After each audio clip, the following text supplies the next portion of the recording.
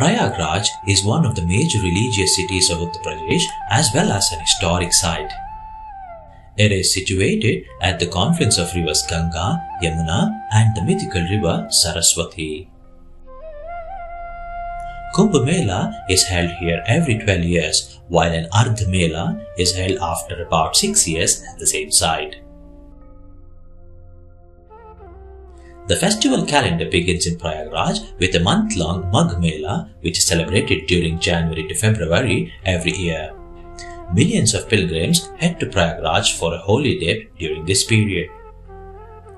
A tented colony comes up in the Mela ground for Magh Mela. The Ganga Water Rally is an annual feature of Prayagraj.